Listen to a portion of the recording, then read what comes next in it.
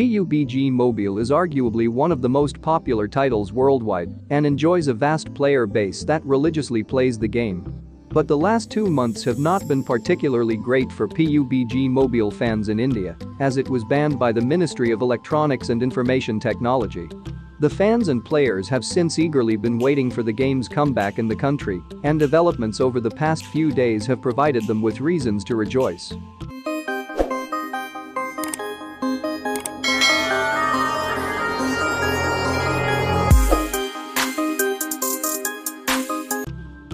And the latest development, PUBG Mobile has launched a new website for India.